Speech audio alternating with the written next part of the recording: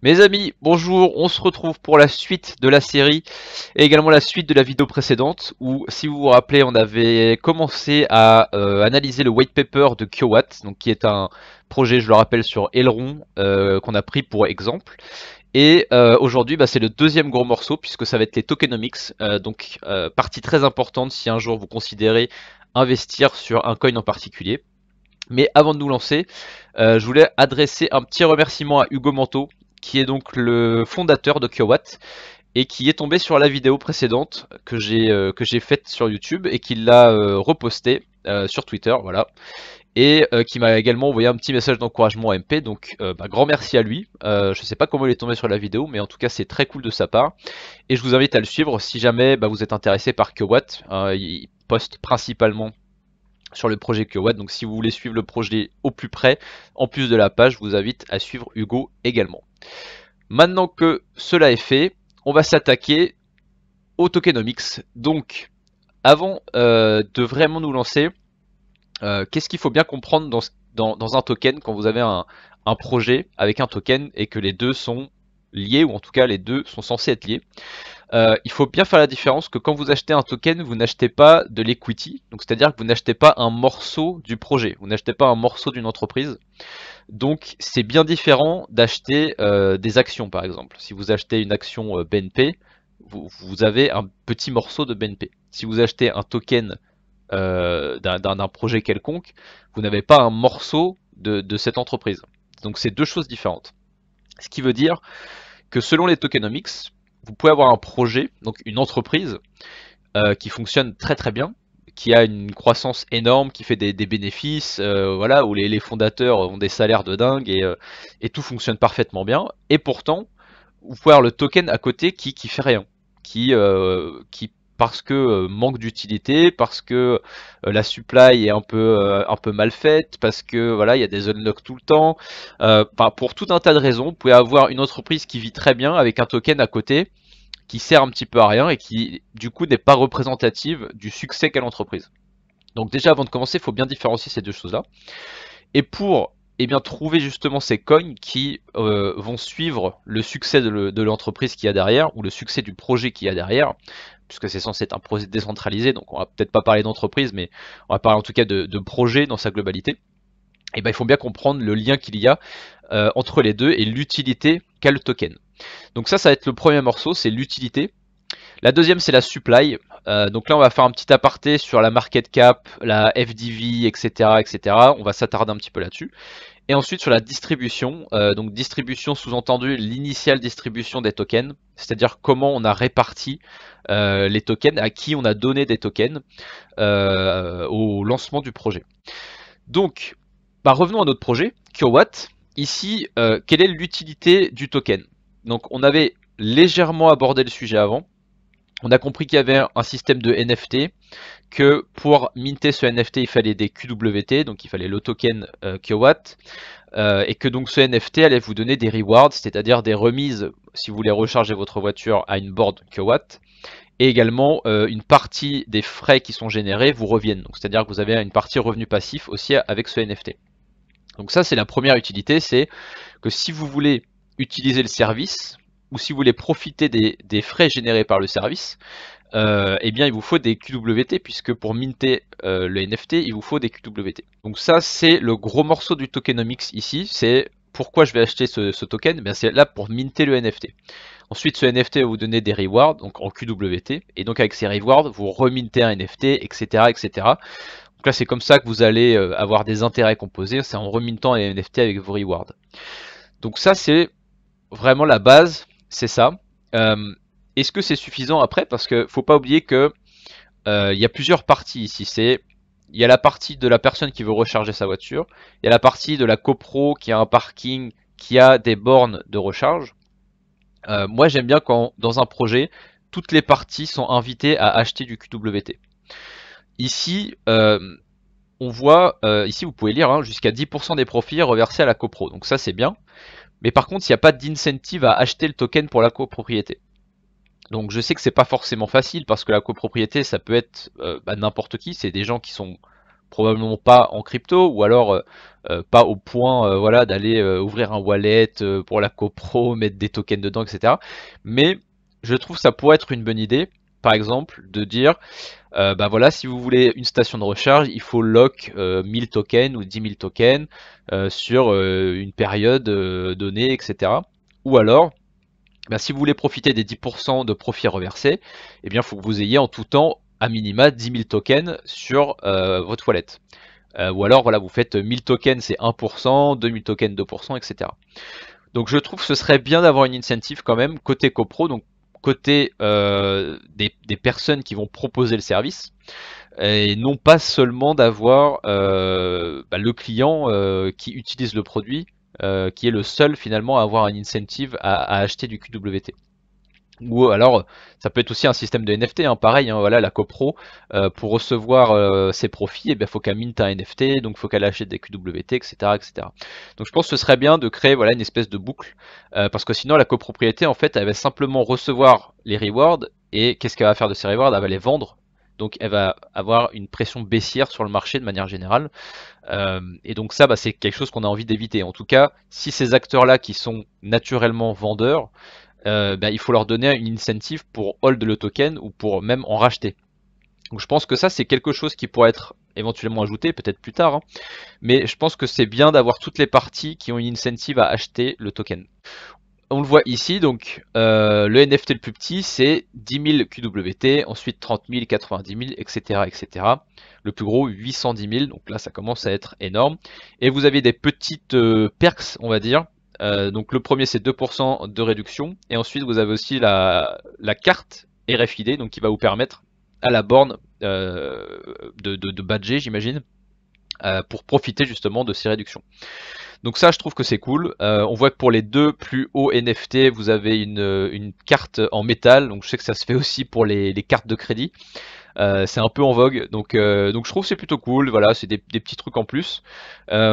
c'est plutôt bien fait le fait d'avoir 5, 5 tiers avec euh, vraiment des grosses, euh, différences. Hein. On part de 10 000 QWT jusqu'à 810 000.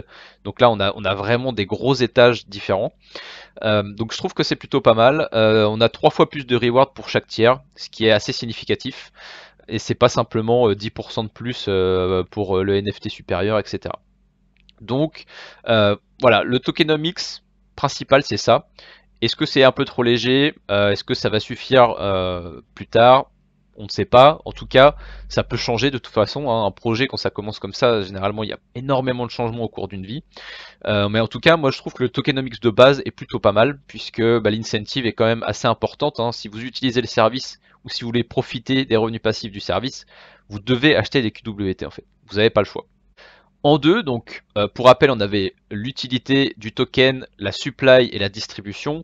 Donc là, on va s'attaquer à la supply. Donc, on a une partie supply model dans le white paper et ici, on nous dit qu'il y a une initial supply de 444 millions de tokens. Donc ça, très important également, allez toujours regarder le nombre de tokens qui vont être lancés initialement et le nombre de tokens euh, total, donc s'il y a une hard cap, c'est-à-dire s'il y a un nombre maximum de tokens, il faut regarder tous ces, tous ces chiffres-là en fait. Donc là, on a une initial supply de 444 millions de tokens, c'est-à-dire qu'au départ, euh, on aura euh, ce nombre de tokens en circulation. En circulation, ça veut dire quoi? Ça veut dire que la market cap qui sera calculé au début, ce sera sur ces 444 millions de tokens.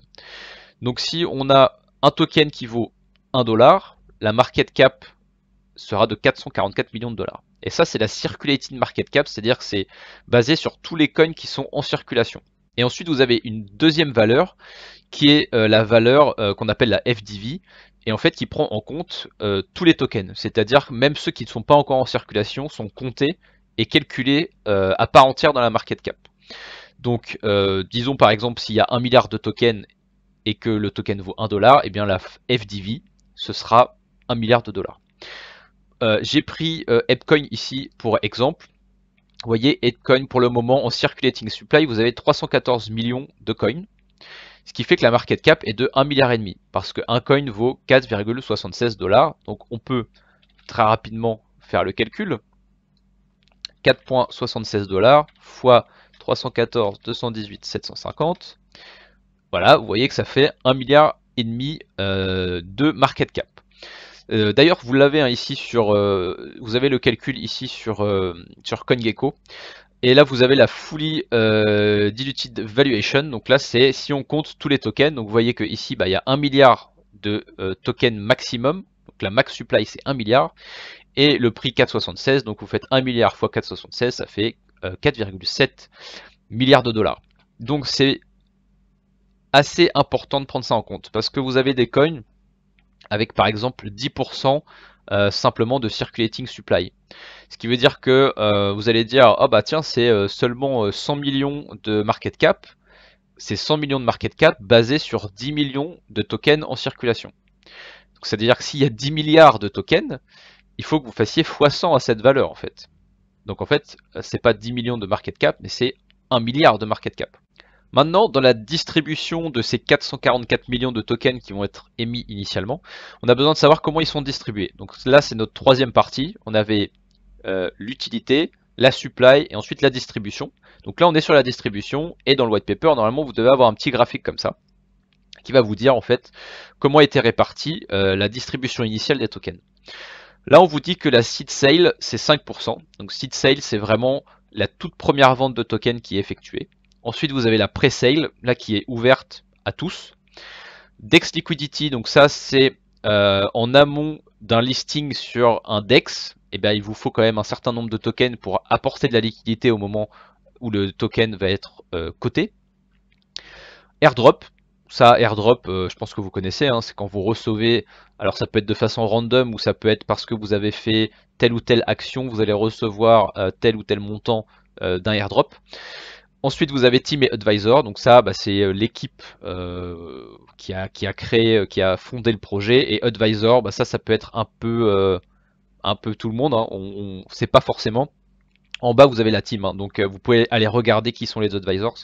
Et ça, c'est 10%. Et marketing, 3%. donc, je crois que j'avais déjà un petit peu parlé dans le premier épisode, mais c'est très très très important de regarder ce graphique pour plusieurs raisons.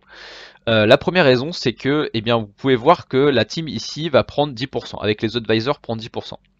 10% c'est, pour moi, c'est un montant acceptable. Ça me paraît normal que l'équipe se rémunère, et puis surtout, ils ont besoin d'un fonds de roulement au début pour, lancer le projet vraiment.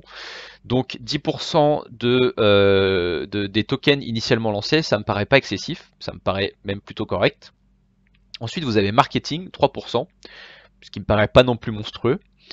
Euh, airdrop 2%, donc ça, les airdrops, je trouve que c'est plutôt pas mal d'en faire, mais vraiment un, un petit niveau. Si vous avez 10, 15, 20% d'airdrop, c'est quand même beaucoup parce que airdrops, les gens qui vont le recevoir, c'est pas forcément des gens qui ont, qui ont choisi de recevoir ce coin. Euh, donc c'est des gens qui vont être normalement, pour la plupart, vendeurs dès qu'ils vont toucher les coins. Première chose qu'ils vont faire, ils vont regarder combien vaut le coin, ils vont regarder comment le vendre. Donc c'est pas forcément des bons holders. Euh, mais là 2% c'est assez négligeable. Dex Liquidity 5% ça c'est normal.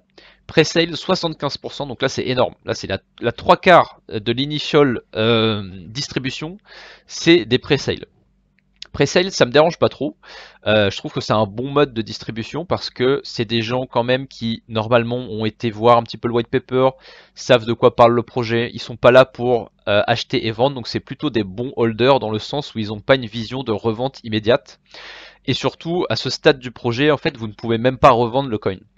Euh, alors vous pouvez faire un peu de P2P, c'est-à-dire vous pouvez le revendre à d'autres personnes, à d'autres particuliers. Mais c'est quand même beaucoup plus compliqué. Vous pouvez pas aller sur un DEX vous pouvez pas aller sur Binance ou n'importe quel autre sexe pour aller vendre les tokens. Donc c'est-à-dire vous pouvez pas faire un achat-revente euh, dans, la journée, quoi. ou alors c'est très compliqué. Donc là c'est 75% d'holders euh, qui sont pas des gens court terme. Visiblement c'est plutôt des gens qui sont là parce qu'ils croient au projet et qui veulent s'investir un minimum. Et la seed sale 5%, un peu dans la même idée, 5% c'est assez négligeable. donc la répartition, moi, me plaît plutôt. On voit en fait que euh, niveau team, advisor et marketing, donc ça c'est un peu, je dirais, la distribution qu'on peut difficilement contrôler. On ne sait pas trop à qui vont les coins. Euh, d'ailleurs, dans le white paper, euh, c'est pas marqué, il n'y a pas de, de, de lock. Alors il y a un lock visiblement puisqu'ils en parlent ici, Team Advisor, Budget, blablabla. Bla euh, voilà, ils disent qu'en fait il y a des incentives et que c'est vested, donc normalement c'est censé être lock, mais il n'y a pas d'informations euh, au-delà de ça, on ne sait pas quand est-ce que ça va être euh, unlock. Donc c'est toujours un peu touchy. Team Advisor et Marketing, on ne sait pas trop où ça va aller. Donc j'aime bien quand c'est limité. Ici c'est 13%, ça me va très bien. 13% c'est pas énorme. Vous avez des projets où ça peut être 30, 40, 50%. Là c'est beaucoup trop. Même si c'est loqué, c'est pas normal qu'il y ait 50% de la supply qui soit euh, affectée à des personnes dont on ne connaît, on, ne connaît rien. Un advisor, des fois, on sait même pas qui c'est marketing, on ne sait pas comment ça va être utilisé, on ne sait pas qui va avoir accès au wallet euh, du marketing. Donc euh, le, moins et le mieux, je dirais, euh, de, ça. 13% ici, ça m'inquiète pas. On voit en dessous, hein, donc il, détaille un petit peu, voilà, il vous explique que 80% de la supply et dans la main des euh, premiers investisseurs. Donc ça, en fait, c'est dans la main de la communauté. Et donc ça, c'est plutôt une bonne chose. Euh, donc quand ils disent 80%, c'est seed sale et pre-sale, hein, ça c'est 80%. Donc le reste, bah, vous voyez, hein, c'est ce qu'on a détaillé tout à l'heure. Euh, ensuite, eh bien, il y a évidemment Dex Liquidity, donc il vous explique que c'est avant la cotation sur le Maillard Dex, qui d'ailleurs est aujourd'hui, au moment où je tourne la vidéo. Donc pour vous, ce sera déjà coté depuis, depuis 24 heures quand vous verrez la vidéo. Team Advisor, donc là, voilà, ils vous disent que c'est vested, donc normalement il y a un lock. Marketing et airdrop, bah, ça c'est des budgets pour euh, amener de nouveaux clients. Donc bah, ça fait du sens, la distribution pardon n'est pas euh, choquante et même je dirais plutôt bonne. Donc euh, on n'est pas inquiet de ce côté-là. Maintenant qu'on a vu tout ça, on va vouloir s'intéresser aussi un petit peu à comment cette supply va évoluer. C'est-à-dire est-ce qu'il y a une inflation, est-ce qu'il y a une déflation, comment en fait les tokens vont être mintés ou brûlés? Et donc on a une partie dans le euh, white paper qui va justement s'attarder là-dessus. Et donc il y, a, deux fonctionnements. Il y a une partie déflation où en fait à chaque fois que euh, on va créer, on va, on va, euh, on va, on va installer un chargeur, on va brûler des tokens. Donc, donc là c'est, je crois, 500 000 QWT qui sont burn à chaque fois qu'on fait un, un, charging point. Et de l'autre côté, on a une inflation à chaque fois qu'on va recharger, à chaque fois qu'un utilisateur va recharger sa voiture, où un QWT va être minté pour chaque kilowatt qui va être chargé. Donc on a, euh, on a déflation et inflation, ce qui fait que ça va être une supply dynamique, ce qu'on appelle dynamique, c'est-à-dire que selon l'utilisation du réseau, on va avoir une inflation ou une déflation. S'il y a beaucoup de recharge et peu de création de charging point, on va avoir une inflation. Et à l'inverse, si on a beaucoup de création de charging point avec euh, peu de recharge, ou en tout cas des recharges qui suffisent pas à euh, compenser la déflation, et eh bien alors là, on va avoir euh, une déflation complète en fait, comme on peut avoir sur Ethereum de temps en temps. Quand il y a énormément d'activité, en fait, on va, on va burn plus de tokens qu'on en crée. Et donc ça, c'est une supply qui est dynamique une fois de plus, je crois que j'en avais un petit peu parlé dans la première vidéo, on peut pas encore savoir euh, bah, si ça va être inflationniste ou pas, parce que on n'a pas encore d'idée vraiment de l'utilisation des chargeurs, combien on peut faire de charges sur un chargeur en une journée, combien il y en a réellement qui vont être faits, euh, chaque recharge combien ça va être, est-ce que les gens rechargent à 100% leur véhicule, est-ce qu'ils font que la moitié du, plein tout ça, on n'a pas encore vraiment d'informations. Euh, et d'ailleurs, les mints n'ont pas encore commencé. Donc, j'avais trouvé sur Twitter. Donc, Twitter, vraiment, j'utilise beaucoup. Hein. C'est euh, une grosse source d'information quand vous êtes en crypto. Et euh, vous voyez que donc bah, c'est Hugo Manteau justement qui répond aux commentaires et qui dit que pour le moment le mint est fait manuellement euh, et de manière périodique. Donc c'est pas c'est pas fait automatiquement, mais ça sera fait automatiquement à terme. Donc là c'est pas encore euh, c'est pas encore fait, c'est-à-dire que quand vous rechargez votre véhicule, c'est pas automatiquement minté des QWT qui apparaissent derrière, ce sera fait manuellement plus tard. Euh, mais au moins dans la réponse sur Twitter du dirigeant. Et pour le burn, eh bien, si vous vous rappelez dans ma première vidéo, j'avais dit qu'il venait de faire euh, les premiers charging points, donc c'est-à-dire que je crois que c'est à l'aéroport de Poitiers, il me semble, qu'ils ont mis des charging points et donc ils ont burn 6,5 millions de QWT et ils vous mettent en dessous sur l'Explorer les transactions. Donc en fait, ça, en crypto, il faut toujours aller vérifier. Donc c'est-à-dire que si on vous dit qu'on a burn tant de tokens, euh, à vous d'aller sur la blockchain et de regarder si vraiment ils ont burn ces tokens. Donc j'ai simplement été sur l'Explorer de Elrond et on voit ici la supply 423,5 millions. Donc c'est bien ça puisqu'on avait 444 millions de initial supply et maintenant on est à 423,5 millions.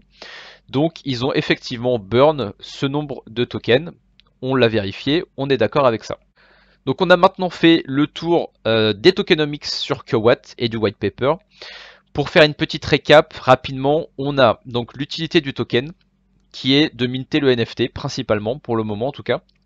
C'est-à-dire que vous achetez des QWT pour minter votre NFT qui vous donne des rewards, des discounts quand vous rechargez votre véhicule, etc. etc. La supply, donc on a vu euh, tout ce qui était market cap, etc. Donc là, c'est pas encore coté sur le DEX, donc on va pas parler de market cap, mais d'ici 24 heures, on pourra commencer à calculer la market cap. Euh, on a la distribution, on l'a détaillé, on a vu que la team, les advisors, le marketing, c'était 13%, euh, que tout le reste, 80%, c'est dans les mains des holders, des premiers holders, donc de ceux qui ont cru au projet au tout début, ce qui est plutôt une bonne chose, c'est pas des acheteurs-vendeurs court terme. Donc voilà pour le projet. On va maintenant regarder rapidement des exemples euh, ben, d'autres tokenomics. Ici j'ai pris CHMB, donc qui est un token qui est lié à un, play to earn que j'avais suivi un petit peu pendant un moment. Et euh, bah, vous voyez la différence dans les tokenomics. Donc vous avez une partie stakings, un quart, donc ça ok. Play to earn, normal, hein, il faut récompenser ceux qui vont jouer. Team 19%. Déjà là c'est un peu beaucoup on a un gros bloc 19%. Ensuite, on a Private Sale.